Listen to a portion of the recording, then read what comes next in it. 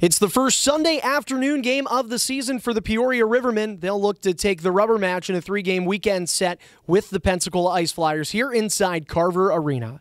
Hello, everyone. I'm Andrew Mossbrooks, and this is the Power Play pregame show presented by our good friends at Homefield Energy. Well, last time out for Peoria came Friday night, a 4 2 setback against the Ice Flyers, just their second loss on home ice this season. The Rivermen are 12 and 2 through 14 of what will be 28 games played inside Carver Arena. It was also just their fourth regulation loss of the season overall. Still, Jean-Guy Trudel's group maintains the top spot in the SPHL standings. They'll look to gain a little bit of ground in terms of their lead on the teams behind them. Pensacola just three points behind the Rivermen after getting that 4 2 win on Friday. Today in goal, Rylan Pashovitz will make his first start with the Rivermen. It is not his first bit of game action with the team, however. Thursday night, he came in relief of Eric Levine, stopped 18 of 19 shots, including all six in the shootout to get his first win in a Peoria jersey. He will try to get his first today as a starter. Puck drop is at 3:05. We'll be on the air at 2:45